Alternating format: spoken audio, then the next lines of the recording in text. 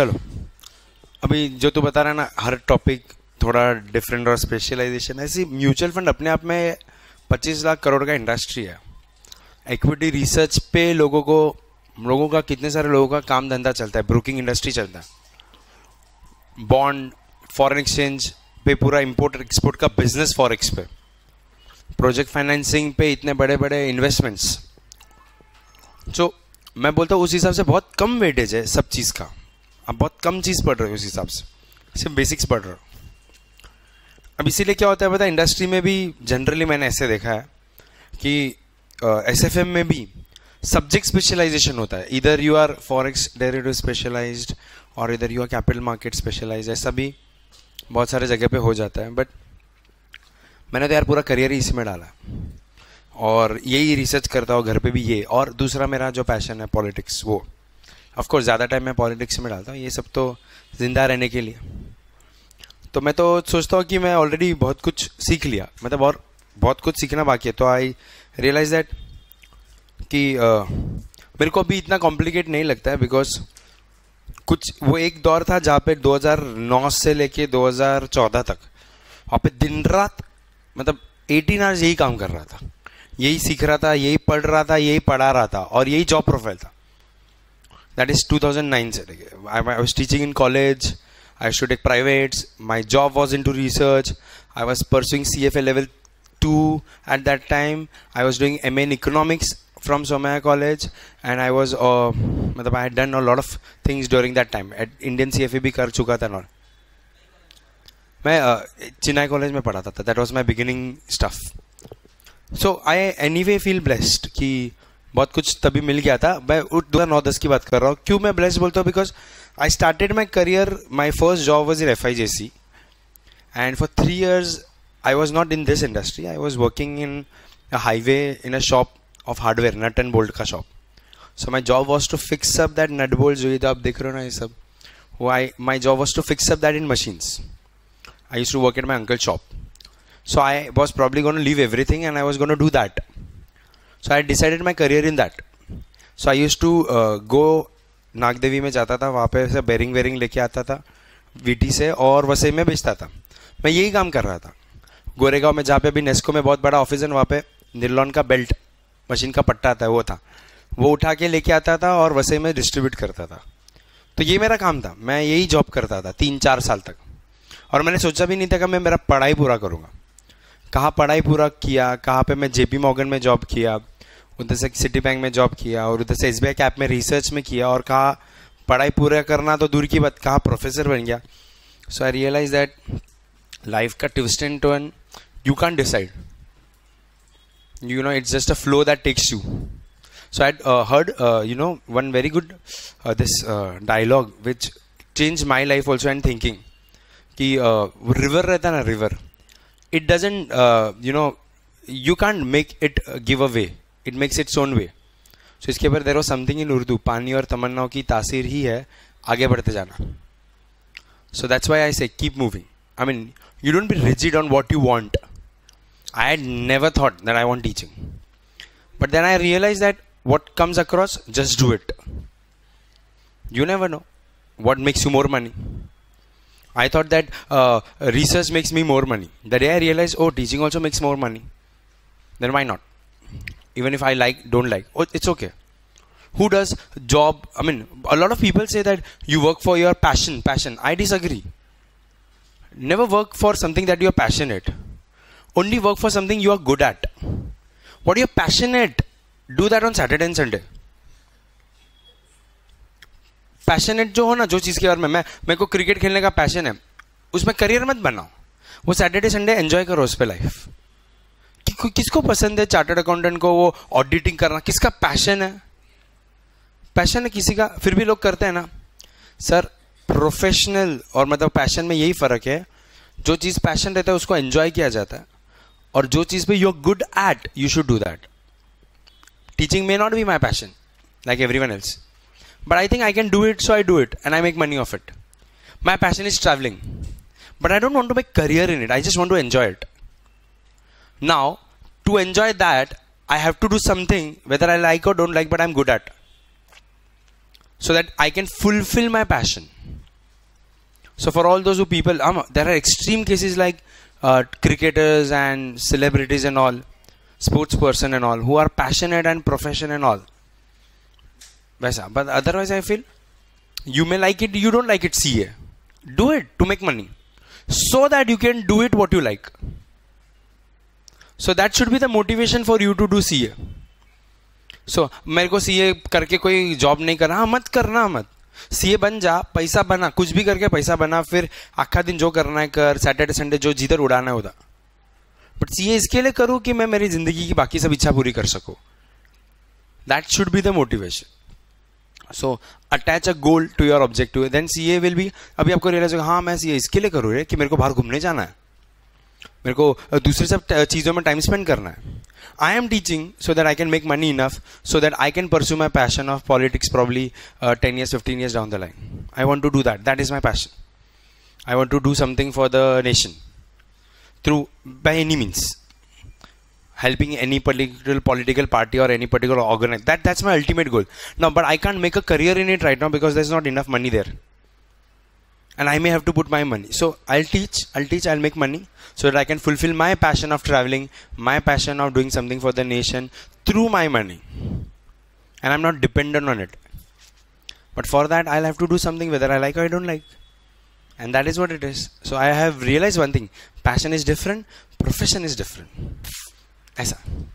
So you're also are doing CA, whether you like it, you don't like it. You're doing it for something that you can enjoy. Everyone so that should be the kick for you कि मैं CA क्यों करूँ? ऐसा।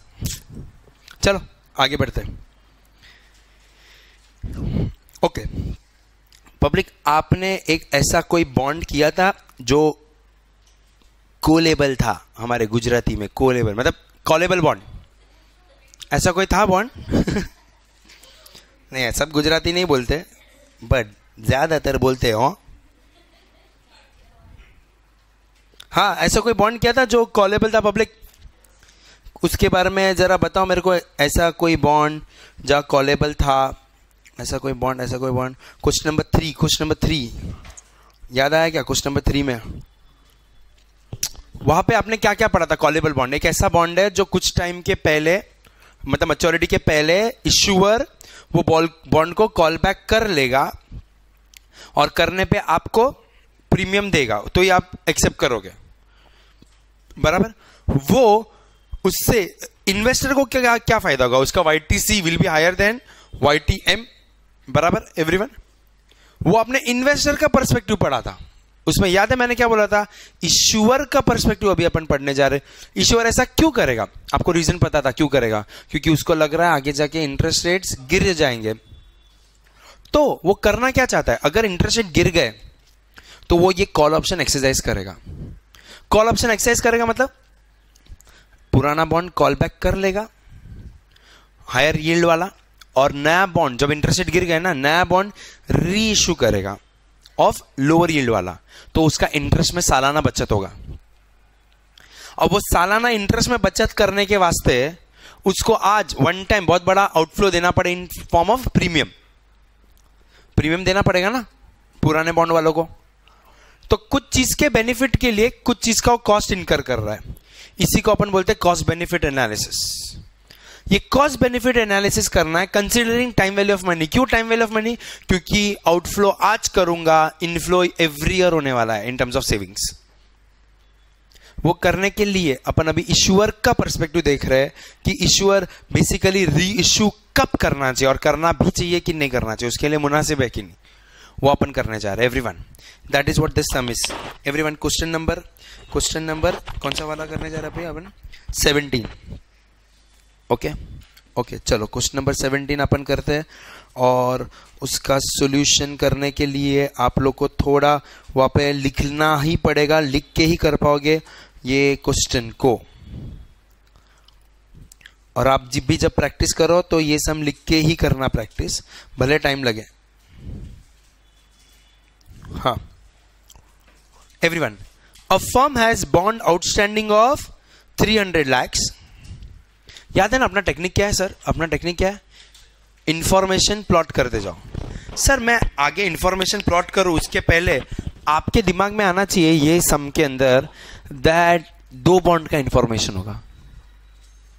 दो bond का information होगा, कौन सा दो बॉन्ड एक जो एग्जिस्टिंग बॉन्ड है, जो रिडीम कर रहे हो, और जो दूसरा नया बॉन्ड है, जो इशू करने वाले हो। समझा क्या? A firm has bond outstanding of rupees three hundred thousand मतलब three hundred lakh sorry the bond has twelve years remaining until maturity has twelve point five percent coupon and is callable at one zero five zero per bond it had flotation cost of चार लाख बीस हज़ार which are being amortise at तीस हज़ार annually उसके बाद जो उन्होंने बोला ना the flotation cost for a new issue वो नए इशू का डिटेल्स है, अपन वो बाद में देखेंगे। पहले ये सब डिटेल्स पुराने बॉन्ड का पब्लिक सो so, पुराने बॉन्ड का एक एक इन्फॉर्मेशन आप अभी बता सकते हो मेरे को? क्या क्या है ओल्ड बॉन्ड का इन्फॉर्मेशन ओल्ड बॉन्ड के इन्फॉर्मेशन में क्या क्या मिला पब्लिक जरा बताओ मेरे को। क्या? कितने का अमाउंट का बॉन्ड है पब्लिक लाइन से। जितने भी न्यूमेरिकल मिलते हैं सब बताओ। कितने का बॉन्ड है public three hundred lakhs next क्या है लाइन में इंफॉर्मेशन ट्वेल्व ईयर्स बताते रहो पब्लिक बारह साल। Next next next next next twelve point five percent coupon coupon है साढ़े बारह प्रतिशत। उसके बाद उसके बाद callable at one zero five zero per bond कभी कॉलेबल है कभी कॉलेबल है बोला है? नहीं तो इमीडिएटली कॉलेबल होगा इसके लिए बोला रहेगा callable at one zero five zero per bond sir ये वन ज़ीरो फाइव ज़ीरो में कुछ मिला हुआ है? क्या क्या क्या? कोई बताएगा? प्रीमियम सो so, आगे, और क्या दिया उन्होंने? It had flotation cost it had had जरा अंडरलाइन करो ना हैड को। It had flotation cost of चार लाख बीस हज़ार विच आर बिंग अमोटाइड है अमोटाइज तीस हज़ार एनुअली फ्लोटेशन कॉस्ट कितना चाह चार लाख बीस हज़ार, और उसका अमोटाइजेशन होता है क्या? ये अमोटाइजेशन किधर जाता है? PNL debit side credit side किधर? कैपिटलाइज होता है। फ्लोटेशन कॉस्ट कैपिटलाइज होता है और ईयर ऑन ईयर अपन उसको अमोटाइज करते हैं। इससे कुछ फ़र्क पड़ेगा? कैश फ्लो में फ़र्क पड़ेगा। कैश फ्लो में फ़र्क पड़ेगा। कैसे अपन देखेंगे सर अमोटाइजेशन कितने का हो रहा है? तीस हज़ार। तीस हज़ार। क्या किसी ने कुछ नोटिस किया? क्या किसी ने कुछ नोटिस किया? फ्लोटेशन कॉस्ट कितना है? चार लाख बीस हज़ार। एवरी ईयर अमोटाइजेशन कितना हो रहा है? Thirty thousand? कितने साल का बॉन्ड है? निकालो। वेरी गुड चौदह साल का बॉन्ड था। अब भी बचा लाइफ। बारह साल है। दो साल बीत चुका है। समझा क्या? आप दूसरे साल पे खड़े हो और अब भी अब भी रीशू करने का कि नहीं करने का सोच रहे हो? एवरीवन अब मैं न्यू बॉन्ड का इंफॉर्मेशन लिखूँगा पब्लिक लेकिन लेकिन लेकिन लेकिन। अगर आपको कॉन्सेप्ट का ऑब्जेक्टिव पता है तो वो सर न्यू बॉन्ड पे कितने का इश्यू होगा? वो भी तो सेम इश्यू होगा। उसका अमाउंट अलग होगा क्या? इसको ही तो रिप्लेस कर रहा है वो बॉन्ड समझा क्या पब्लिक तो उसका भी अमाउंट कितना ही होगा? वो three hundred thousand three hundred lakhs ही होगा। उसका टाइम कितना होगा? बचा हुआ टाइम अभी कितना होगा? उसका भी सेम सर, मैं डेट को रिप्लेस कर रहा हूँ। तो उसका भी बारह साल ही होगा। इंफॉर्मेशन बाद में पढ़ेंगे अपन। उसका coupon sir coupon coupon coupon coupon क्या? बारह साढ़े बारह से कम होगा ना? क्या उसमें भी फ्लोटेशन कॉस्ट होगा? हाँ उसको इशू करने का भी फ्लोटेशन कॉस्ट होगा और उसका भी अमोटाइजेशन होगा। समझा क्या? ये सब चीज़ें होने वाली है। वही दिया है। Flotation cost for new issue is nine lakhs and current interest rate is ten percentage flotation cost कितना बोला है? नौ लाख एंड इंटरेस्ट रेट कितना हो जाएगा? टेन परसेंटेज सर नोटिस करना इंटरेस्ट रेट साढ़े बारह का दस हो जाएगा। वही तो सबसे बड़ा रीजन है। अमोटाइजेशन कितने से होगा? नहीं दिया, मैं निकाल सकता हूँ, निकाल सकता हूँ। क्या करूँगा? Nine lakh divided by twelve करो कितना होता है पब्लिक सेवेंटी फाइव थाउज़ेंड तो मैं लिख देता हूँ इधर सेवेंटी फाइव थाउज़ेंड उन्होंने नहीं दिया बट अपन लिख देता एवरीवन और क्या दिया after tax, cost of debt is 6 percentage. Should the firm refund outstanding debt, show detailed working, consider income tax rate at 60 percent दो इंफॉर्मेशन क्या public debt cost of debt दिया हुआ है उन्होंने? After tax cost of debt दिया हुआ है। After tax cost of debt क्यों काम लगता है sir after tax cost of debt after tax हाँ वेरी गुड क्या बोला मैडम आपने? प्रेजेंट वैल्यू में लाने के लिए काम लगेगा छह टका और टैक्स रेट दिया है पचास प्रतिशत। सर टैक्स रेट का अपने को फाइनेंस में क्या काम लगता है? क्या काम लगता है? कोई गैस करो? क्या निकालने को? पोस्ट टैक्स निकालने को और दूसरा क्या? टैक्स बेनिफिट निकालने को। सपोज़ टैक्स करूँगा, क्योंकि सब कैश फ्लो के बेसिस पे करके डिसाइड करूँगा कि ये प्रोजेक्ट करने का कि नहीं। प्रोजेक्ट प्रोजेक्ट क्या ये प्रोजेक्ट पुराना बॉन्ड रिडीम करके नया रीइश्यू करो। ये प्रोजेक्ट करने का कि नहीं? अब सर आपके बुक में क्वेश्चन में जितना भी न्यूमेरिकल दिया था, सब बोर्ड पे प्लॉट हो गया कि नहीं? जरा देख लो। अब क्वेश्चन को छोड़ दो।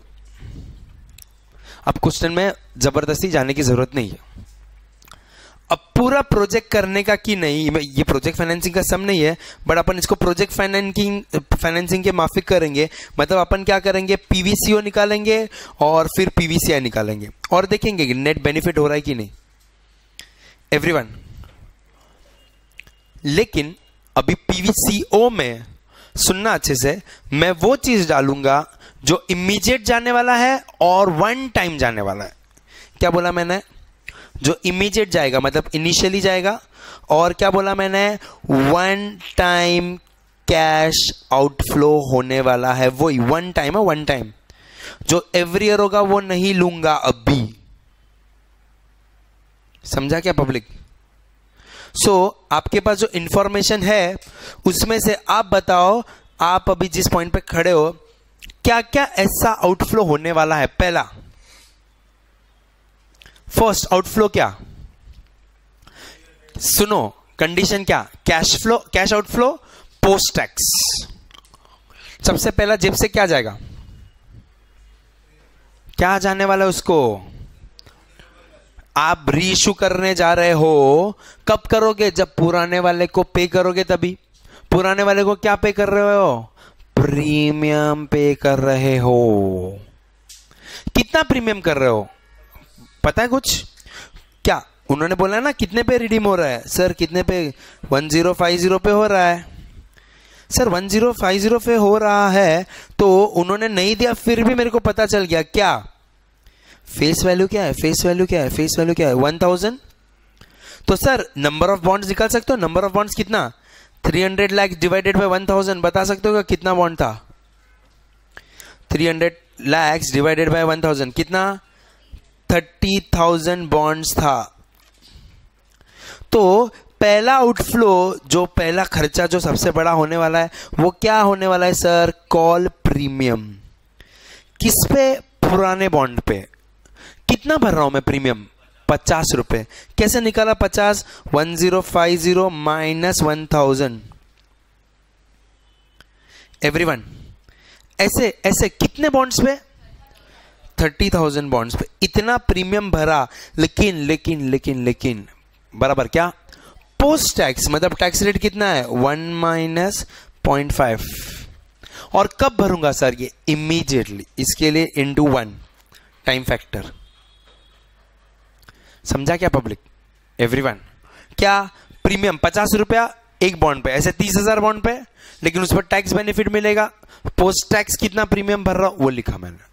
तो पोस्ट टैक्स कैश आउटफ्लो कितना होगा? वो लिख रहा हूँ। एवरीथिंग कैश फ्लो के बेसिस पे। और कुछ खर्चा? और कुछ खर्चा? सोचो सोचो, सब इंफॉर्मेशन में से। क्या होगा? और कोई खर्चा बड़ा flotation cost on new bond sir, नए बॉन्ड पे फ्लोटेशन कॉस्ट भी तो होगा। कितने का? कितने का? नाइन लैक्स का। कब करोगे? इमीजिएटली वो भी तो खर्चा होगा। इस पर टैक्स बेनिफिट नहीं मिलेगा। इसका ईयर ऑन ईयर अमोटाइजेशन होगा, वो अपन ईयर ऑन ईयर वाले मिलेंगे। इसमें वन टाइम क्या बोला मैंने? वन टाइम वाला लेंगे आउटफ्लो और कोई भी चीज़ होगा क्या? और कोई भी चीज़ होगा क्या? मोस्ट इंटरेस्टिंग चीज़। क्या होगा और? सर, पुराना बॉन्ड बंद हो रहा है अभी। बंद हो रहा है ना पुराना बॉन्ड पुराने बॉन्ड में फ्लोटेशन कॉस्ट कितना था? चार लाख बीस, वो तो नहीं लूँगा, वो तो कॉस्ट है।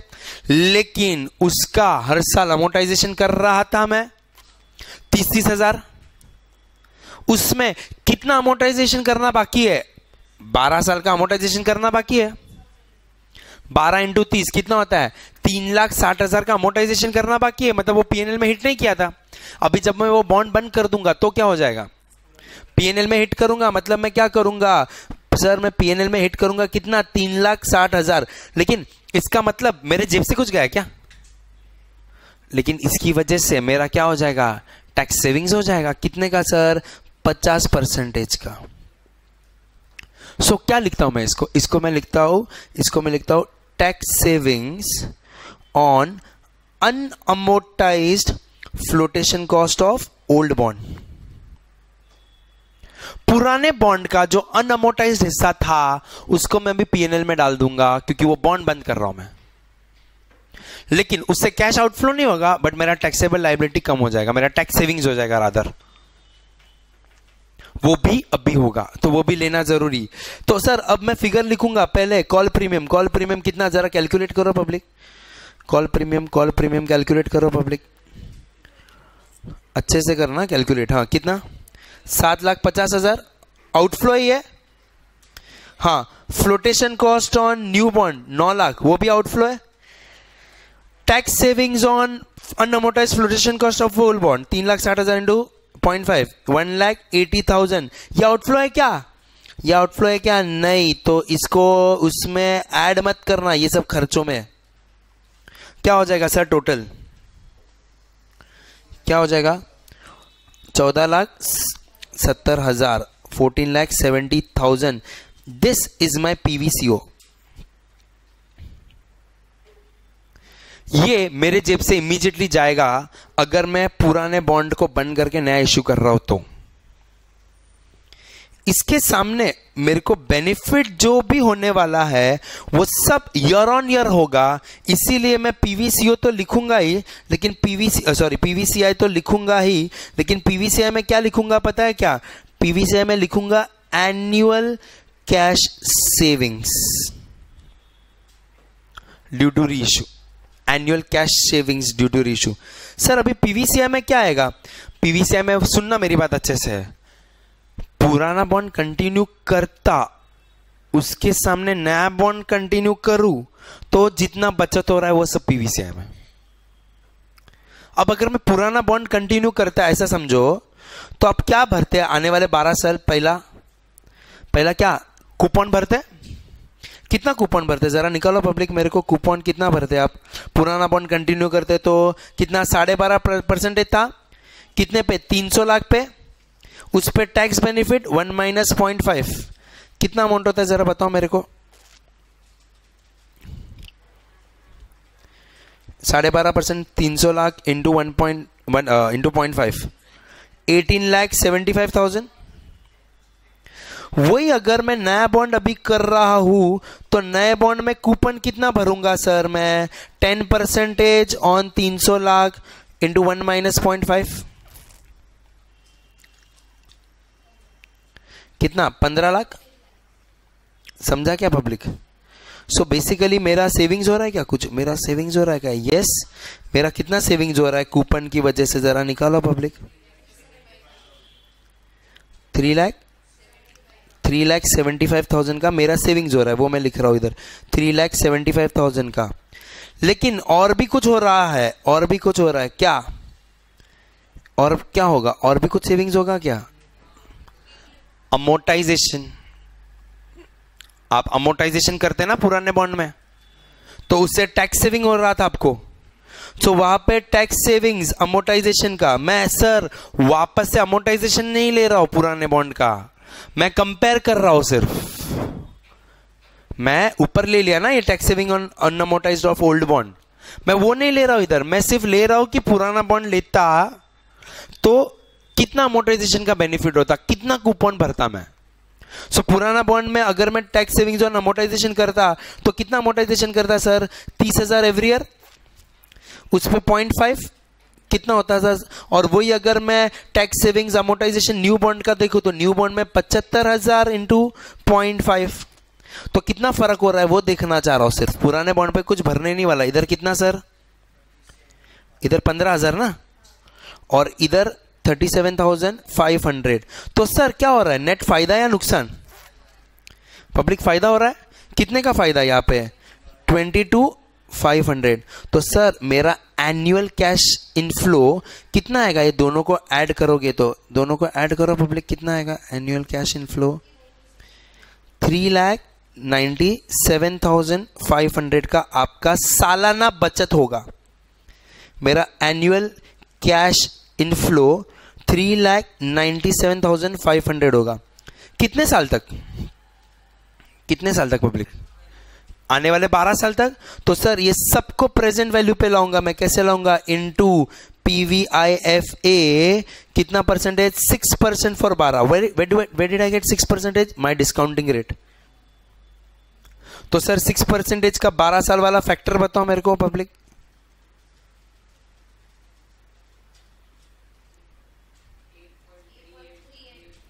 दो डेसिमल में, या तीन डेसिमल में, कुछ भी आपको स्टैंडर्ड ले सकते हो। अभी दो डेसिमल में लू तो मैं 8.38 ऑन बटन प्रेस कर दो, पहले ऑन बटन प्रेस कर दो। हाँ अभी वापस से करो three ninety seven five hundred into eight point three eight क्या है amount sir thirty three lakh thirty one thousand fifty ये है सर आपका क्या, ये है आपका P V C I less P V C O करोगे तो फिर आएगा एनपीवी पीवीसीओ कितना था सर आपका? याद है? फोर्टीन लाख सेवेंटी थाउज़ेंड मैं करूँगा। तो मेरा एनपीवी आएगा। My NPV is is is is sixty one zero five zero everyone अच्छे से एक एक करके देखो। क्या पीवीसीओ में मैंने क्या लिखा है? वन टाइम जो आउटफ्लो होगा। क्या होगा सबसे बड़ा आउटफ्लो प्रीमियम और इनफ्लो क्या इंटरेस्ट सेविंग्स वो दोनों तो होने ही वाला था। तो इसलिए प्रीमियम तो लिया ही है मैंने ऊपर और इंटरेस्ट सेविंग्स भी लिया हुआ है नीचे। लेकिन उसके अलावा फ्लोटेशन कॉस्ट और उसके वजह से जो अमोटाइजेशन पे हो रहा है, वो इंपैक्ट भी लेना पड़ेगा। सो फ्लोटेशन कॉस्ट नए बॉन्ड पे भरूँगा। पुराने बॉन्ड का जो अनअमोटाइज बचा है, उस पर टैक्स सेविंग होगा। और नीचे मैंने क्या किया है? अमोटाइजेशन का और इंटरेस्ट का जो एक्स्ट्रा बेनिफिट हो रहा है, वो लिया है। पुराने बॉन्ड का कोई अमोटाइजेशन भरने नहीं वाला हो, ये जो नीचे लिया है ना मैंने ये। ना पुराने बॉन्ड का कूपन भरने वाला हूँ, ना पुराने बॉन्ड का मैं टैक्स सेविंग्स और अमोटाइजेशन का बेनिफिट भी नहीं मिलने वाला है। मैं सिर्फ़ कंपेयर कर रहा हूँ कि एक्स्ट्रा कितना मिल रहा है एक्स्ट्रा कितना मिल रहा है। तो सर ओवरऑल मैं क्या भरूँगा आज के तारीख में? आज के तारीख में मैं चौदह लाख सत्तर हज़ार भरूँगा और मेरे को बेनिफिट कितना होगा? Thirty three lakh thirty one zero five zero NPV positive NPV positive accept the project reissue accept करो। इससे और एक भी कंक्लूजन मिलता है। क्या पता? है बताओ क्या क्या प्रीमियम जितना भर रहा था कम दे रहा हूँ। इश्यूअर है ना इश्यूअर प्रीमियम कितना दे रहा था पचास? वो और भी दे सकता था। कम दे रहा है इसलिए तो एनपीवी पॉजिटिव आ रहा है। एवरीवन समझा क्या पब्लिक सो so, आप ये सब अभी ट्राई करोगे सिर्फ़ इसमें एक टेक्निक है पीवीसीओ और पीवीसीआई में, पीवीसीओ में वही लेने का जो अभी इमीडिएटली और वन टाइम आउटफ्लो है। और पीवीसीआई में क्या आ रहा है? एनुअल कैश सेविंग्स मतलब मैंने डिफरेंस सर, याद है आप अगर आपको थोड़ा बहुत कैपिटल बजटिंग में पता हो, दो मशीन है। मशीन दो मशीन का मैं एनालिसिस करूँ। मशीन ए और मशीन बी और दोनों का लाइफ सेम है। तो अपन क्या करते हैं पता है? डिफरेंशियल एनालिसिस करते हैं। मतलब मशीन ए का भी लाख रुपए है मशीन बी का डेढ़ लाख रुपए है। तो एक्स्ट्रा कितना है दोनों के कंपैरिजन में? पचास हज़ार। उसका कर रहे हैं। मैं यहाँ पे भी यही कर रहा हूँ कि अगर मैं आने वाले 12 साल पुराना बॉन्ड कंटिन्यू करता तो क्या होता? नया बॉन्ड कंटिन्यू कर रहा हो तो क्या हो रहा है? कितना एक्स्ट्रा पे कर रहा हो? कितना एक्स्ट्रा मिल रहा है? एवरीवन सो so, कितना एक्स्ट्रा पे कर रहा हो वो लिखा है मैंने ऊपर और कितना एक्स्ट्रा हर साल बेनिफिट होने वाला है वो नीचे लिखा है। समझा public can you try that try करो ट्राई करो। चलो स्टार्ट सेंड लिखो public this is one super sum अब ये खत्म होने पे मैं कुछ क्वेश्चन क्वेश्चन वगैरह पूछूँगा आपको। सम के आंसर आने के बाद। ये ऑफिशियली पहले क्वेश्चन खत्म करो।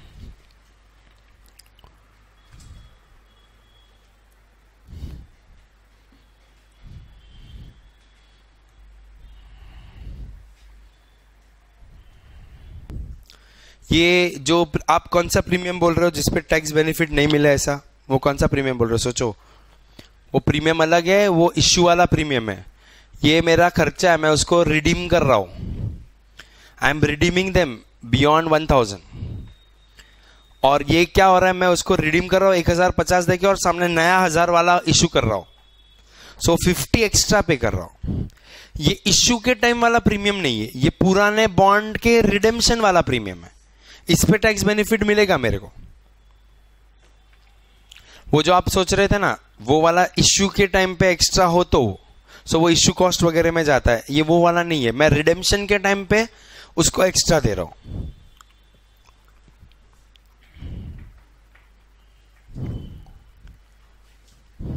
uh, as per your tax rules also you get tax benefit. So whenever you redeem bond reissue उस पर जो एक्स्ट्रा पेमेंट कर रहे हो उस पर यू गेट टैक्स बेनिफिट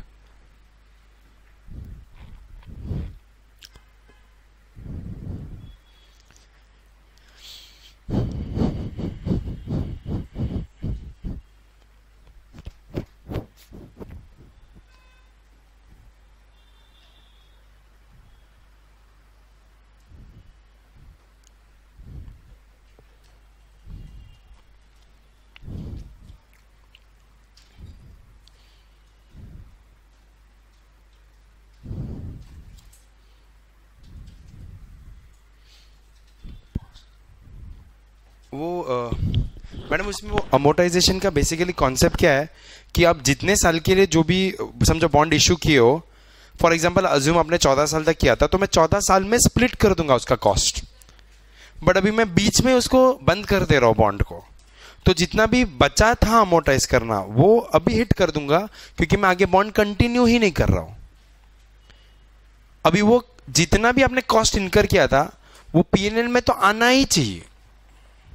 हाँ हम लोग उसको डिले कर रहे हैं। क्यों? क्योंकि उसका बेनिफिट ओवर द पीरियड है। अब अगर वो कंटिन्यू ही नहीं हो रहा है उसका लाइफ आगे तो जितना बचा था वो सब अपन पीएनएल में डाल देंगे ताकि जितना तुमने कॉस्ट किया उसका पीएनएल में हिट हो जाए।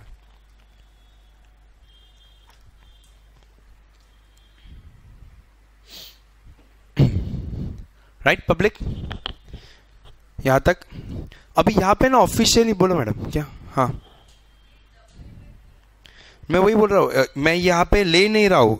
आपको जो डबल इफ़ेक्ट दिख रहा है, मैं यहाँ पे फ्लोटेशन कॉस्ट नहीं ले रहा हूँ, पुराने बॉन्ड का भर नहीं रहा हूँ। ना पुराने बॉन्ड का फ्लोटेशन कॉस्ट भरने वाला हूँ, ना उसका कूपन भरने वाला हूँ। कूपन भी नहीं भरने वाला और फ्लोटेशन कॉस्ट भी नहीं भरने वाला I am just seeing what is the extra savings due to new bond so अभी कूपन भरने वाला हूँ क्या मैं? आगे जाके पुराना बॉन्ड पर नहीं नए का कूपन भरने वाला? हो वो तो आउटफ्लो ही है ना।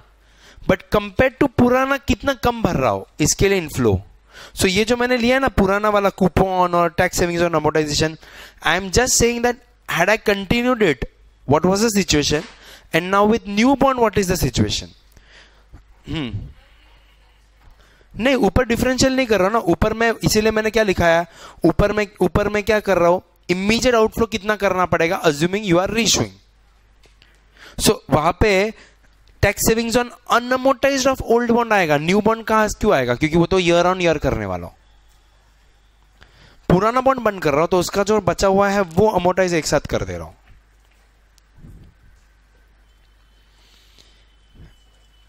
अब यहाँ पे ना ऑफिशियली आपका सम खत्म बट जनरली मैं अपने स्टूडेंट से दो एक्सरसाइज और कराता हूँ। एक ये कि आपका एनपीवी पॉजिटिव आ रहा है? मतलब आपको ये रीइश्यू में फ़ायदा हो रहा है?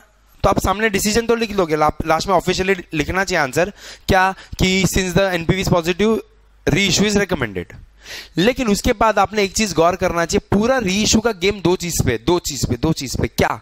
क्यों री इशू कर रहे थे? क्योंकि क्योंकि क्योंकि इंटरेस्ट रेट गिरा था। और उसके लिए भरना क्या पड़े? प्रीमियम लेकिन सर ये प्रीमियम आप बाद में थोड़ी डिसाइड करोगे कितना देने का। ये तो इंडेंचर में पहले ही देना पड़ेगा ना। सो so, प्रमोटर मेरे को पूछेगा कंपनी का ओनर कि दोस्त कितना प्रीमियम रखू? तो ऐसे रैंडमली थोड़ी पचास रख दूँगा मैं। वो तो पहले बताना पड़ेगा बाद में नहीं। सो so, पहले मैं ये ढूँढने को आपको लगा रहा हूँ कि आज अभी मैं उसको पचास का प्रीमियम दे रहा हूँ फिर भी मुझे फ़ायदा हो रहा है। मतलब can I afford more premium yes कितना अफोर्ड कर सकता हूँ? सुनना मेरी बात। सर उतना अफोर्ड कर सकता हूँ कि पीवीसीओ पीवीसीआई जितना हो जाए और एनपीवी ज़ीरो हो जाए। उसको बोलते break even premium so so, मतलब अभी पीवीसीआई कितना है? Sir PVCI thirty three thirty one zero five zero right sir जरा समझना इधर। Thirty three thirty one zero five zero अगर पीवीसीओ भी उतना हो जाए ना तो भी चले। उतना मैं उतना मैं प्रीमियम अफोर्ड कर सकता हूँ। मतलब सर, यहाँ पे प्रीमियम किधर है? प्रीमियम दिख रहा है आपको ये one zero five zero sir, ये thirty three thirty one zero five zero तक चले। मतलब अगर आप थोड़ा इक्वेशन को गौर करो तो seven lakh fifty thousand plus nine lakh minus एक गिरा तो फोर्टीन सेवेंटी आया ना। उसको थोड़ा रिवर्स जाओ रिवर्स जाओ। मतलब sir thirty three thirty one zero five zero डालो अपने कैल्सियम में। रिवर्स कैसे जाऊँगा। One lakh eighty thousand add back करो और नौ लाख माइनस करो। कितना आ रहा है बताओ? ट्वेंटी सिक्स डबल वन इतना हो जाए ना कॉल प्रीमियम का टोटल अमाउंट तो भी चले। समझे क्या मेरी बात? मैं आपको थोड़ा कैलकुलेशन करा रहा हूँ। सो so, अब ये जो इक्वेशन दिख रहा है आपको मैं इक्वेशन लिख रहा हूँ। One zero five zero minus one thousand into thirty thousand into one minus point five should be equal to कितना पता है? Twenty six double one zero five zero और उसमें वन ज़ीरो फाइव ज़ीरो को let's assume x समझा क्या? इससे क्या मिलेगा तुमको? ब्रेक इवन प्रीमियम कैसे sir? Twenty six double one zero five zero divided by point five करो कैल्सी में divided by thirty thousand sir उधर क्या है पता है? X माइनस वन थाउज़ेंड है। तो वन थाउज़ेंड इधर आएगा तो प्लस करो। तो आपको आएगा क्या answer sir double one seven four sir double one seven four तक आप प्रीमियम अफोर्ड कर सकते हो। अभी वन ज़ीरो फाइव ज़ीरो दे रहे हो। एक सौ चौबीस रुपया और दे सकते हो। ब्रेक इवन ब्रेक इवन का मतलब ही क्या होता है कि इतना तक अफोर्ड कर सकते हो।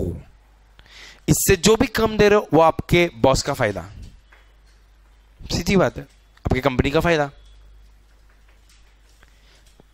पब्लिक इसको बोलते हैं ब्रेक इवन प्रीमियम ये सब मैंने अच्छे से प्रेजेंट किया उसमें डोंट वरी एक और चीज़, एक और चीज़। ब्रेक इवन इंटरेस्ट मतलब सर अभी इंटरेस्ट किधर से किधर गिरा? साढ़े बारह से दस गिरा, फिर भी फ़ायदा हुआ? मतलब सर, दस से थोड़ा ऊपर रहता तो भी चलता। तो क्या रहना चाहिए था जहाँ पे जहाँ पे ब्रेक इवन हो जाए? मतलब सर, यहाँ पे देखो जरा, ये साढ़े बारह है ना इंटरेस्ट उससे दस कर दिया तो भी बेनिफिट हो रहा है। अब ये पीवीसीओ जितना पीवीसीआई होता तो भी चलता। मतलब ये भी पीवीसीआई भी इतना होता तो भी एनपीवी ज़ीरो हो जाता। सो सर पीवीसीआई भी फोर्टीन सेवेंटी थाउज़ेंड होता तो रिवर्स और reverse fourteen lakh seventy thousand divided by eight point three eight करो। कितना आया? Divided by eight point three eight किया ना? कितना है one seven five four one eight इतना रहता ना आपका एनुअल कैश सेविंग तो भी चलता। अभी उसमें से बाईस हज़ार पाँच सौ तो अमोटाइजेशन से था तो वो माइनस करो। कितना हुआ अभी? वन फिफ्टी टू समथिंग कुछ था? अभी मेरी बात अच्छे से सुनना, मैं इक्वेशन बना रहा हूँ मतलब मैं थोड़ा मैथमेटिकल यूजेज कर रहा हूँ। क्या मैं बोल सकता हूँ, साढ़े बारह टक्का मतलब मैं अमाउंट में लिखता हूँ point one two five minus point one zero कितने पे? तीन सौ लाख पे into one minus point five should be equal to जो अभी आपके अमाउंट में आया, कितना? वन फिफ्टी कितना? One fifty two nine one eight उसमें साढ़े बारह में से माइनस दस के बदले can I write it X point one के बदले एक्स लिख सकता हूँ ना? आंसर किसके बीच में आने वाला है? साढ़े बारह और दस के बीच में आने वाला है। तो अभी कैल्सियम में जो आपकी फिगर पड़ा है डिवाइडेड बाय पॉइंट फाइव करो। Divided by three hundred lakh करो three hundred lakhs divided by three hundred lakhs करो। किया? अब सुनो माइनस एक्स उधर जाएगा और आप जो कर रहे हो वो माइनस हो जाएगा। किसमें से? पॉइंट वन टू फाइव में से। सो so, आपके कैल्सियम में जो आंसर है minus point one two five करो। क्या आया? 11.48 तक इंटरेस्ट गिरे तो भी चले। समझा क्या? एवरीवन सो so, अगर एक टक्का भी इंटरेस्ट रेट गिर गया एक टक्का इंटरेस्ट रेट गिर गया उधर ब्रेक इवन हो गया उधर से जितना भी इंटरेस्ट रेट गिरेगा आपकी कंपनी को फ़ायदा। In short can I now say something मैं मेरे सर को क्या बोलूँगा? सर अभी साढ़े बारह का इंटरेस्ट है ना? जिस दिन भी आने वाले, कितने साल का बॉन्ड है? बारह साल ना? आने वाले बारह साल में जब भी जब भी इंटरेस्ट साढ़े ग्यारह के नीचे जाए रीशू कर लेना। अपन फ़ायदे में समझा गया ऐसा? क्यों? क्योंकि पचास रुपए का प्रीमियम डिसाइड कर दिया ना मैंने। साढ़े ग्यारह पे ब्रेक इवन है। साढ़े ग्यारह के नीचे जब भी जाएगा interest eleven point four eight के नीचे, अपने को पैसा मिलेगा। So I will just wait and watch मैंने सब कैलकुलेशन कर लिया। अब मैं मेरे सर को बोलूँगा सर एक टके का गैप हो जाए ना तो अपने को मज़ा है। उससे नीचे जाएगा ऑफकोर्स जाएगा आने वाले बारह साल में। इसीलिए तो कंपनी रीइशू करने के लिए मतलब ये कॉलेबल बॉन्ड इशू करने के लिए मरता है। बट सब कर नहीं सकते। समझा एवरीवन ये जो ब्रेक इवन प्रीमियम या ब्रेक इवन इंटरेस्ट मैंने निकाला ना, वो आपके सिलेबस में कभी किया नहीं आज तक इंस्टीट्यूट ने। बट थोड़ा बहुत ऐसे करो तो मज़ा है डिसीज़न मेकिंग कर सको अपने कंपनी के लिए। एवरीवन इसको जरा प्रॉपर वे में प्रेजेंटेशन करना है तो यहाँ पे यॉल कैन जस्ट सीट मैंने इक्वेशन बना के ये सब किया हुआ है। This is part B and part C just for your reference they are not the actual part of some they are just for your reference course, you'll never see the reference, i know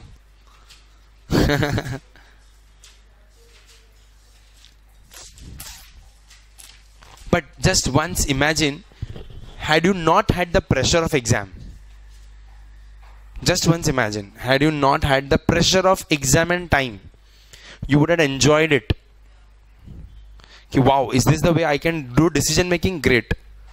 I can help my company raise money. This is what is going to be your job profile as a chartered accountant in the future. If you come in finance industry you're not going to be told do the calculation. There are excel sheets to do it. You're going to be told tell me the decision अब एक टका भी interest rate गिरा तो मैं refunding का फ़ायदा? अब मेरा बॉस मेरे को बोलेगा, एक टका इंटरेस्ट रेट कब गिरेगा? मैं यील्ड से निकालूँगा। फॉरवर्ड रेट्स आगे जाके यील्ड गिरेगा कि नहीं? अब मुझे अगर कनेक्ट करो सब चीज़ को। अगर मुझे पता आगे जाके एक टके से ज़्यादा इंटरेस्ट रेट गिरने वाला है तो मैं आज मेरी कंपनी को पैसा की ज़रूरत है। तो मैं क्या बोलूँगा, सर, आज मत करो, एक टके, एक साल के बाद करो। ऐसा मैं बोलने जाऊँगा। मेरा बॉस बताएगा नहीं नहीं नहीं नहीं, आज ही इशू करने का बॉन्ड पैसे की ज़रूरत आज है. ठीक है सर इशू करो बट कॉलेबल बॉन्ड समझे क्या? ये सब मैं बात कर पाऊँगा अपने कंपनी के साथ। मेरा बॉस बोलेगा, नहीं, मेरे को पता है, आगे जाके इंटरेस्ट रेट गिरेगा बट अभी पैसे की ज़रूरत है, मैं क्या करूँ? सर कोई इश्यू नहीं है, अभी इशू कर दो, लेकिन प्रोविज़न रखो कि अपन कॉल बैक कर सके. तो बोलेगा, कितना प्रीमियम रखू? सर मैं बता रहा हूँ, कितना प्रीमियम रखने का मिनिमम एक टका गिरने वाला है तो सर पचास रुपए रख दो उससे ज़्यादा जो भी गिरा वो अपने जेब में। ऐसा अभी मैं सर को आंसर दे सकता हूँ कैपिटल रेजिंग के बारे में। पैसा कैसे रेस करने का कैसे नहीं करने का। यही तो इन्वेस्टमेंट बैंकर का जॉब होता है। यही तो सीएफओ का जॉब होता है। Sources of fund allocation of fund आज नहीं तो कल बनोगे सीएफओ ये आपका तब डिसीज़न मेकिंग का काम रहेगा। सो so, ये सब I understand exam pressure and all But just once imagine, had there been no exam pressure, you would have literally enjoyed the decision making. This is called providing solutions to the company. This is called consulting. Okay. This is called consulting, giving solutions. ऐसा है चलो अभी the last nail in the coffin before आप कबर में जाओ उसके पहले क्या convertible debentures convertible debentures sir आपने कन्वर्टेबल प्रेफरेंस किया था, जो अब तक भूल भी गया। बराबर? याद आ जाएगा कन्वर्टेबल डिबेंचर से। सेम ही है बट कुछ एक्स्ट्रा है। Everyone convertible debentures convertible debentures institute का फेवरेट है, क्योंकि कन्वर्टेबल डिबेंचर्स में कन्वर्टेबल प्रेफरेंशियल का कॉन्सेप्ट आ जाता है। और कुछ एक्स्ट्रा भी आता है। सो एवरीवन ये एक क्वेश्चन है ना कन्वर्टेबल डिबेंचर्स का। इसके अंदर जितने भी फॉर्मूलाज है, सब मैंने डाल दिए। और किसी ने अगर रिसेंट एग्ज़ाम दिया रहेगा तो उसको थोड़ा बहुत किसी ने दिया है, किसी ने रिसेंट एग्ज़ाम अगर दिया रहेगा तो तो थोड़ा बहुत ये सब क्लिक होगा। अच्छा ऐसा कुछ भी था, जो सीधा नेक्स्ट सम पे चले गया था, मैं। ऐसा देखते।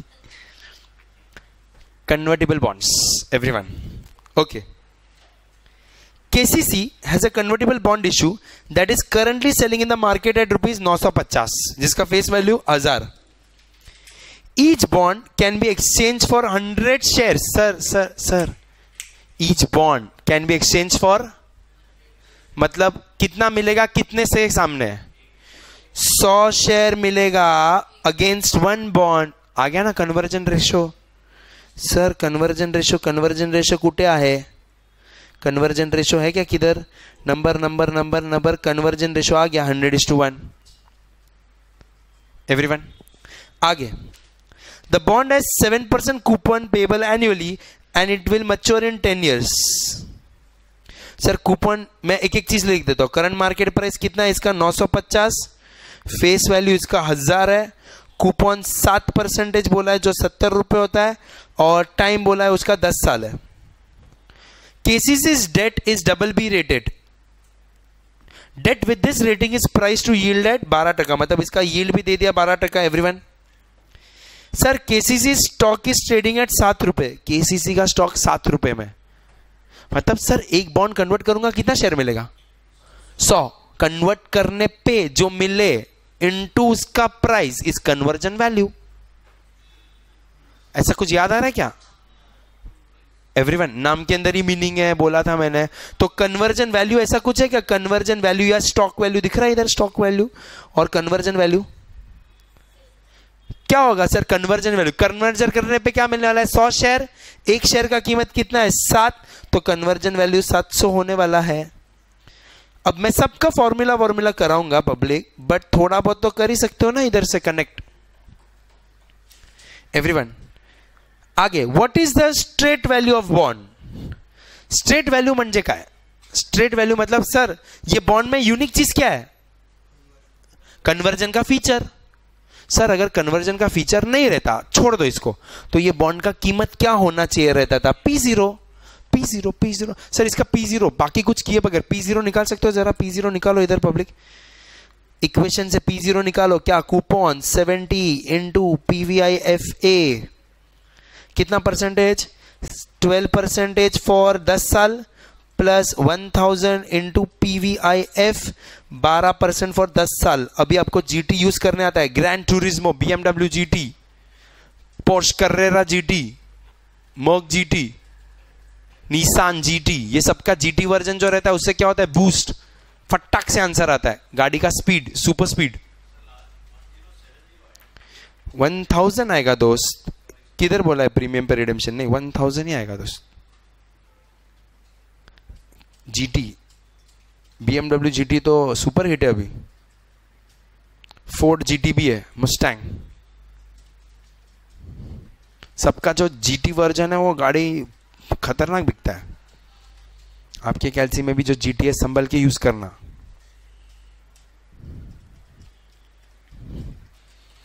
क्या? हाँ बराबर है। बोइंग सेवन वन सेवन क्या आ रहा है? सात सौ सत्रह। सर, मैं सबका ना मीनिंग वीनिंग सब बताऊँगा बट देखो अब बिना ये सब के क्या क्या कर सकते seven one seven point four nine sir, ये है बॉन्ड का straight value straight value straight value सुनना straight value sir actually bond का कीमत कितना है? साढ़े नौ सौ? डिफरेंस कितने का हुआ? जरा निकालो। Two thirty two point five one ना? ये डिफरेंस क्यों है? क्योंकि इसके अंदर कुछ एक्स्ट्रा है। क्या? कन्वर्जन का ऑप्शन इसको बोलते हैं ऑप्शन वैल्यू ऑफ़ बॉन्ड जो उसके नीचे दिख रहा है क्या? स्ट्रेट वैल्यू और option value sir straight value और ऑप्शन वैल्यू सुनना पब्लिक मैं सब ये जो चार चीज़ हुआ है प्लस एक और चीज़ है उसके बाद मैं कौन से बताऊँगा क्या है। बट जरा देखो स्ट्रेट वैल्यू ऑफ़ बॉन्ड मतलब बॉन्ड का इज़्ज़त वाला वैल्यू अगर कन्वर्जन ऑप्शन नहीं रहता तो। तो जो एक्स्ट्रा है वो क्या चीज़ का है? क्या चीज़ का है? कन्वर्जन के ऑप्शन का है उसको ऑप्शन वैल्यू ऑफ़ बॉन्ड बोलते हैं। सो so, उसके बाद तीसरा चीज़ क्या बोला है? Floor value of bond floor value floor floor floor floor मतलब नीचे। कम से कम कितना जा सकता है? बॉन्ड आज कितने का है दोस्त? साढ़े नौ सौ का। कम से कम नीचे कितना जा सकता है? सात सौ सत्रह तक ही जा सकता है, उससे नीचे जा नहीं सकता है। क्यों? बॉन्ड आप खरीद रहे हो कन्वर्जन के लिए कि शेयर का भाव बढ़े। शेयर का भाव नहीं बढ़ा तो भी बॉन्ड में बेस वैल्यू तो रहेगा ही, जो उसका मिनिमम वैल्यू 717 तो डाउनसाइड डाउनसाइड रिस्क मतलब कितना? 232.51 किधर से किधर? किधर से किधर गिर सकता है? कहाँ से कहाँ गिर सकता है बॉन्ड डाउनसाइड रिस्क मतलब परसेंटेज में अगर मैं बोलूँ तो कहाँ से गिर सकता है? सर, बता सकते हो? 950 से 717.49 गिर सकता है। 950 से ना? तो एंडिंग वैल्यू क्या है? 717 minus nine fifty upon nine fifty कितना परसेंटेज गिर सकता है? 24.47 या 8 परसेंट नीचे 950 लिया ना? हाँ। इसको बोलते हैं डाउन साइड रिस्क आपने पाँच साइड पाँच चीज़ किया है, अब मैं उसका सॉल्यूशन में बताता हूँ एक एक करके। Sir straight value straight value it is the value of convertible bond after excluding the value of convertible option it is क्या? वही अपन ने जो निकला था इंट्रेंसिक वैल्यू ऑफ़ बॉन्ड और minimum value considering there is no conversion option तो straight value आपने निकाला 717 ऑप्शन वैल्यू क्या है? It is the additional value in convertible bond over and about the straight value it is perhaps the extra value for the feature of conversion sir straight value आपका P zero option value कैसे निकाला? Current market price minus straight value दिख रहा है क्या formula current market price minus straight value so तीसरा चीज़ क्या निकाला था मैंने? डाउन साइड रिस्क या floor value floor value sir floor value क्या होता है? फ्लोर वैल्यू 717 फ्लोर वैल्यू है which is nothing but the straight value of bond समझा क्या पब्लिक तो डाउन साइड रिस्क कितना? डाउन साइड रिस्क कितना? सर डाउन साइड रिस्क क्या है? सात सौ सत्रह minus nine fifty upon nine कितना नीचे जा सकता है? Twenty four point four seven percentage everyone याद है आपने? ये पहली तीन और बाकी दो चीज़ भी आता है आपको। कन्वर्जन रेशो और स्टॉक वैल्यू कन्वर्जन रेशो क्या? इट स्पेसिफाइज क्या? Number of shares receivable on conversion of one convertible bond तो हंड्रेड इक्विटी शेयर मिलेगा एक बॉन्ड के सामने? Conversion ratio hundred is to one conversion value या स्टेट वैल्यू ये तो प्रेफरेंस शेयर में भी पढ़ा था। मतलब क्या it is immediate value received on conversion of single bond calculated at current market price of equity so public सौ रुपए, सौ शेयर मिलेंगे, सात रुपए का एक शेयर है, आज के आज कन्वर्ट करूँगा तो सात सौ रुपए। सर आज के आज कन्वर्ट करूँगा तो सात सौ मिलेगा, लेकिन आज तो कन्वर्ट करना है नहीं। So what is conversion parity price this is the new thing और ये हर बार एक्सपेक्ट करना। कब जब भी बॉन्ड आएगा ना, ये वाला तो होगा conversion parity price sir parity parity parity पैर एंड इक्वालिटी का मिलन है पैरिटी पैर और इक्वालिटी पैर एंड इक्वालिटी मतलब सर ऐसा कुछ आउटकम जहाँ पे इक्वल हो जाए। किसके इक्वल की बात कर रहा हूँ? ऐसा कुछ आउटकम की इक्वल हो जाए, ऐसा कुछ आउटकम की इक्वल हो जाए। अब भी आप कुछ ज़्यादा पे कर रहे हो। कितना ज़्यादा पे कर रहे हो? सर आप by the way convertible bond लिए क्यों हो? मैम ये पूछ रहा हूँ कन्वर्टेबल बॉन्ड लिए क्यों हो? इन द एंड शेयर्स मिले और उसका भाव बढ़े। तो सर डायरेक्ट शेयर क्यों नहीं लिए? यही मैंने प्रेफरेंस शेयर में भी पूछा था। डायरेक्ट शेयर क्यों नहीं लिए? क्योंकि इधर ड्यूअल बेनिफिट है। कन्वर्जन करने तक इंटरेस्ट भी मिलेगा और कन्वर्जन के बाद शेयर प्राइस भी ऊपर जाने का स्कोप है। सर आज शेयर प्राइस कितना है? आज शेयर प्राइस क्वेश्चन में देखो कितना है? सात रुपए। अब मेरी बात अच्छे से सुनो। पैरिटी पैरिटी मतलब ब्रेक इवन ऐसा भाव शेयर का कि आपका ब्रेक इवन हो जाए। आपने कितना भाव अपने आज जेब से कितना भरा? आपने ये बॉन्ड खरीदने के लिए जेब से कितना भरा? साढ़े नौ सौ। बदले में क्या मिलने वाला है? सौ बॉन्ड साढ़े नौ सौ के सामने सौ बॉन्ड सर सौ सौ शेयर सॉरी बेसिकली एक शेयर का आप, एक शेयर आपको कितने में पड़ा? साढ़े नौ। साढ़े नौ आपका ब्रेक इवन साढ़े नौ के ऊपर जाएगा शेयर तो आपको फ़ायदा है। So what is conversion parity conversion parity it is the break even price beyond which buying a convertible bond is justified मतलब इसके ऊपर अगर शेयर प्राइस गया तो आपका फ़ायदा है। किसके ऊपर, सर? साढ़े नौ के ऊपर। आज शेयर का कीमत कितना है? सात रुपए। सर, सात रुपए। आपने जेब से ये बॉन्ड ये बॉन्ड खरीदने के लिए आपने साढ़े नौ सौ भरा। साढ़े नौ सौ बदले में सौ शेयर मिलने वाला है। बेसिकली एक, आप शेयर के लिए तो ले रहे हो कन्वर्टेबल बॉन्ड बाद में वापस बॉन्ड ही मिले, उसके लिए थोड़ी ले रहे हो। बेसिकली आप सौ शेयर का, सौ शेयर का साढ़े नौ सौ रुपए के हिसाब से पर शेयर साढ़े नौ रुपए पे की ये आपका कॉस्टिंग है। इसके ऊपर जाएगा तो फ़ायदा तो इसके नीचे रहेगा तो नुकसान तो this is called conversion parity break even sir basically आपने, सुनो अच्छे से, आपने सात रुपए की चीज़ का साढ़े नौ रुपए पे किया।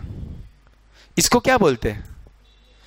सात रुपए की चीज़ का साढ़े नौ सौ प्रीमियम तो इसी को तो बोलते हैं कन्वर्जन प्रीमियम कन्वर्जन प्रीमियम कितना कन्वर्जन प्रीमियम भरे? पहले मेरे को बताओ, कितना प्रीमियम भरे सर ढाई रुपया, nine minus seven point five, कितने पे ढाई रुपया? कितने पे ढाई सात रुपये sorry my mistake nine point five minus seven. कितने पे प्रीमियम भरे? सात रुपये पे ढाई, जरा करो, नाइन पॉइंट फाइव मतलब ढाई divided by seven into hundred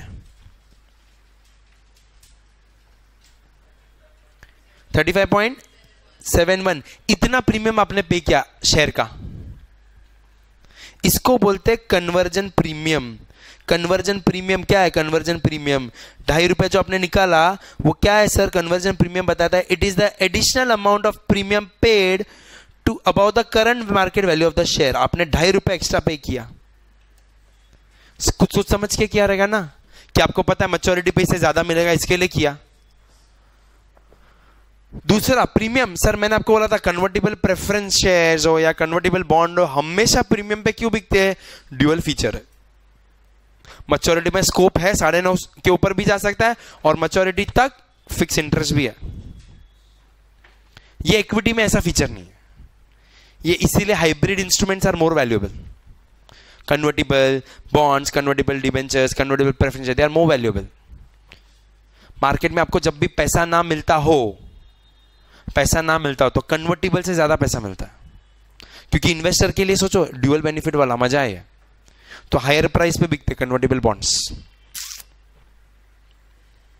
everyone अब पब्लिक एक चीज़ है क्वेश्चन में मैंने नहीं डाला है, यहाँ पे जरा क्वेश्चन में। सपोज़ यहाँ पे आपको चाहिए तो आप भी क्वेश्चन में वहाँ पे लिख सकते हो। Consider dividend per share as point three five आपको चाहिए तो क्वेश्चन में लिख दो ना वहाँ पे। वो जो इसके बाद वाला क्वेश्चन है ना, कौन सा वाला पता है? Favourable income difference per share favourable income difference per share वहाँ पे लिख दो assume DPS equals to point three five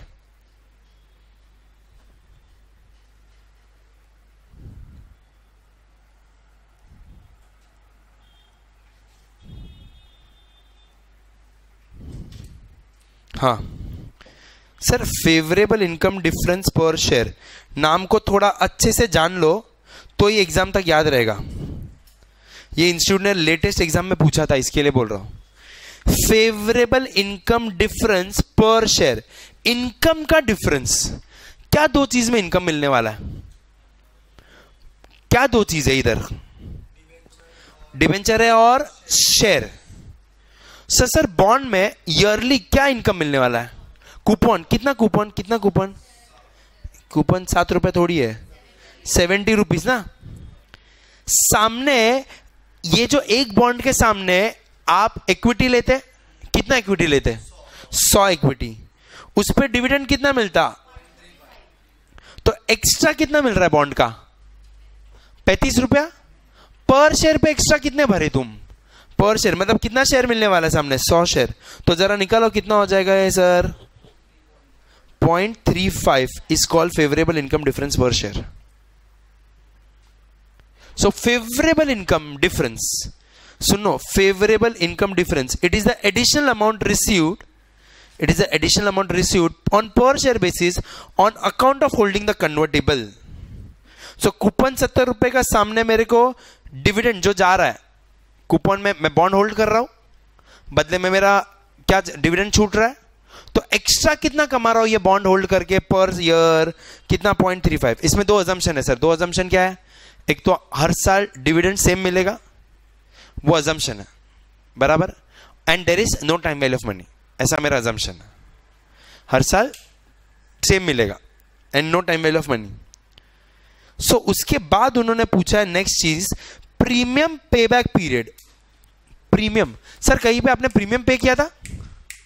ये बॉन्ड खरीदने के लिए पर शेयर कितना? ढाई रुपये प्रीमियम पे किया था। सर, ये ढाई रुपये प्रीमियम मतलब एक्स्ट्रा पे किया था एक्स्ट्रा सामने आपको कुछ ये बॉन्ड होल्ड करने का एक्स्ट्रा मिल रहा है क्या? कितना? पॉइंट थ्री फाइव तो सर बेसिकली आपको हर साल पॉइंट थ्री फाइव एक्स्ट्रा मिल रहा है बॉन्ड होल्ड करने का। और ये बॉन्ड होल्ड करने के लिए आपने एक्स्ट्रा ढाई रुपये पे किया था। सो so, कितने साल में आपका ये प्रीमियम पे बैक हो जाएगा? उसको बोलते प्रीमियम पे बैक समझे क्या? प्रीमियम पे बैक आपने प्रीमियम भरा दोस्त कितना भरा प्रीमियम ढाई रुपया. क्यों भरा? क्योंकि तूने कन्वर्टेबल बॉन्ड होल्ड कर रहा है. तो तूने ढाई रुपया एक्स्ट्रा भरा पर शेयर सामने तेरे को एक्स्ट्रा क्या मिल रहा है? बॉन्ड होल्ड करके. ये ऊपर जो favourable income difference extra income मिल रहा है पॉइंट थ्री फाइव तो ऐसा पॉइंट थ्री फाइव कितना साल मिलेगा कि तेरा प्रीमियम जो है ना ढाई रुपया, वो रिकवर हो जाए? Pay back period premium pay back period so जरा कैल्सियम में डालो 2.5 divided by 0.35 so that will be 7.14 years sir 7.14 years में आपका प्रीमियम रिकवर हो जाएगा। अब अगर आपको फॉर्मूला दिखना है तो ये ढाई रुपया क्या था प्रीमियम और 0.35 क्या था favourable income difference per share so क्या लिखा है मैंने वहाँ पे? Premium pay back it is time period required for investor to recover the conversion premium जो आपने ऊपर निकाला था। ये एक सम में ना सर, ये एक सम ज़रूर करके जाना, क्योंकि एक सम में कन्वर्टेबल से रिलेटेड जितने भी आज तक इंस्टीट्यूट ने पूछे, सब मैंने कर डाला। अब उसमें कनेक्शन देखो कनेक्शन देखो सर क्विकली क्विकली क्विकली अभी आप जा रहे हो अंडरस्टैंड बट जरा क्विकली कनेक्शन देखो। एवरीवन एवरीवन एवरीवन कनेक्शन कैसे समझने का? मैंने कैसे वहाँ पे किया था? इंफॉर्मेशन पढ़ते पढ़ते। सर सबसे पहले मेरे को कन्वर्जन रेशो मिला। वो कन्वर्जन रेशो से ही कन्वर्जन वैल्यू आएगा। एवरीवन फिर बेसिक वैल्यू ऑफ़ बॉन्ड अपना नॉर्मल पी ज़ीरो उसी को स्ट्रेट वैल्यू बोलते हैं। उसमें और एक्चुअल प्राइस में जो डिफरेंस है, वही ऑप्शन वैल्यू और मिनिमम कितना गिर सकता है? स्ट्रेट वैल्यू तक गिर सकता है। उसके बाद कन्वर्जन पैरिटी मतलब कन्वर्जन पैरिटी मतलब आप जो बॉन्ड खरीद रहे हो, उसमें सौ शेयर मिलेगा। लेकिन उसके लिए एक्स्ट्रा कितना पे कर रहे हो? साढ़े नौ सौ रुपए आपका बजट है। तो आपको पर शेयर का आपका ब्रेक इवन क्या होना चाहिए? उसको कन्वर्जन पैरिटी साढ़े नौ रुपए। तो आपने एक्स्ट्रा पे किया ढाई रुपया, सात रुपए पे वो कन्वर्जन प्रीमियम परसेंटेज में। फेवरेबल इनकम डिफरेंस के लिए आपको डिविडेंड का इंफॉर्मेशन चाहिए। वो क्या बताता है कि एक्स्ट्रा कितना मिल रहा है income per share pay for holding the convertible और लास्ट में क्या प्रीमियम पे बैक कि कितना ये एक्स्ट्रा इनकम से मैं एक्स्ट्रा प्रीमियम कितने साल में पे कर पाऊँगा? Premium pay back everyone right public i'll just take 5 minutes and you just you just have to see what i do. And that is i'll just uh, uh, क्या करूँगा मैं? सब formula एक बार सामने लिख देता हूँ और देखो कितने फॉर्मूला हुए बॉन्ड्स में। एवरीवन आपको सिर्फ़ हेल्प करने का है, जितना हो सकता है उतना। मैं लिखता रहूँ, यहाँ पे आप सिर्फ़ देखते रहो। सर प्राइस सबसे पहले प्राइस निकाला था। सुनो प्राइस निकाला था और वाईटीएम निकाला था। रिडीमेबल बॉन्ड के लिए और फिर इरिडीमेबल बॉन्ड के लिए। पहले इरिडीमेबल बॉन्ड का लिख लेते price is coupon upon YTM तो YTM is coupon upon price simple इधर price C into PVI F A X percent for T years plus RV into P V I F X percentage for T year X percentage for T years YTM YTM क्या मिलेगा? Coupon plus price difference RV minus C M P upon T upon average RV plus C M P upon two into hundred every one with me price yield relationship sir price yield relationship YTM अगर coupon जितना हुआ तो bond is at par YTM coupon से ज़्यादा हुआ। Bond is at discount और YTM coupon से less हुआ तो bond is at premium everyone with me on this और याद करो, और याद करो, क्या फॉर्मूला किए थे? और याद करो current yield current yield current yield याद आया क्या? Current yield current yield was जो डिविडेंड यील्ड था डीपीएस अपॉन एमपीएस वैसे इधर क्या? कूपन अपॉन प्राइस उसके बाद उसके बाद उसके बाद आपने क्या किया? आपने फॉरवर्ड रेट्स किए। Forward rates if you remember forward rate में, मैं एक ही लिख रहा हूँ one plus one year forward after one year there, sorry. Into 1 plus 1 year followed after 1 year equals to 1 plus two year for after zero square ऐसे करके मेरे को बीच के इंटरेस्ट रेट्स मिलेंगे। तो जब मैं इसके थ्रू प्राइस निकालूँगा तो जितना भी मेरा coupon plus coupon plus last में रिडेम्शन वैल्यू है, तब मैं डिस्काउंटिंग रेट वो अलग अलग यूज़ करूँगा। जो मेरे को आएँगे वो। अंडरस्टूड बराबर? हाँ सिर्फ़ मुँह करो तुम। एवरीवन उसके बाद उसके बाद फॉरवर्ड रेट्स फॉरवर्ड रेट्स के बाद we went to duration sir duration duration duration हाँ बराबर, क्या? ड्यूरेशन ड्यूरेशन मैं लिख सकता हूँ जितना भी कूपन है इनटू टाइम अभी टेबल में कैसे किया था मैं वापस से याद कर रहा था। कूपन कूपन सब कूपन लिए थे, सब कूपन कूपन कूपन फिर एक और रिडेम्शन वैल्यू भी लिया था। वो कूपन को डिस्काउंट किया था और रिडेम्शन वैल्यू को भी डिस्काउंट किया था पब्लिक उसके बाद उनका वेट्स निकाला था। और उनको टाइम से मल्टीप्लाई किया था। ऐसे सब कूपन का समेशन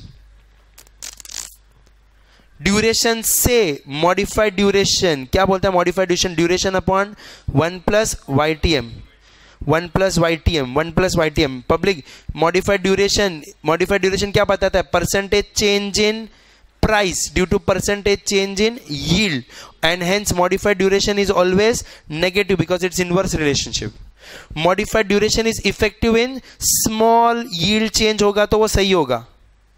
बट अगर लार्ज यील्ड चेंज होगा तो there will be difference between modified and actual Y because bonds behave convex and not linear ऊपर और नीचे सेम रेट से नहीं। राइट राइट बराबर? दैट्स इट बाकी अभी जो आपने फॉर्मूलाज है वो जो री इशू वाला किया री इशू वाले में पीवीसी और पीवीसीआई करने का और बाकी अभी जो अपन ने क्या क्या किया अपना कन्वर्जन वाले फॉर्मूलाज के everyone this is what is bonds right O O seven हाँ? वो सिंपल था। अरे, बजा है बॉन्ड्स में। मैं यही बोल रहा हूँ ना, सिर्फ़ एक बार अपने, मैं I understand the pressure just for once जो भी अपने पढ़ा ना ये, इतने दिनों में उसमें जस्ट एक बार ऐसा छोड़ दो कि if I not had the pressure finance is very interesting right ठीक है? चलो. And probably now you must have it's is no shortcut to it okay चलो. Meet all tomorrow with mergers and acquisitions and tomorrow will discuss about the companies the recent जो भी अभी trade हो रहा है जो भी बाई सेल हो रहा है, बहुत सारी कंपनीज़ का स्टार्टअप्स वार्टअप्स का डिस्कशन करेंगे। और मैं आपको बताऊँगा मर्जर और एक्विजिशन का, शादी के साथ का कनेक्शन वो अपन कल देखेंगे। चलो thank you have a nice day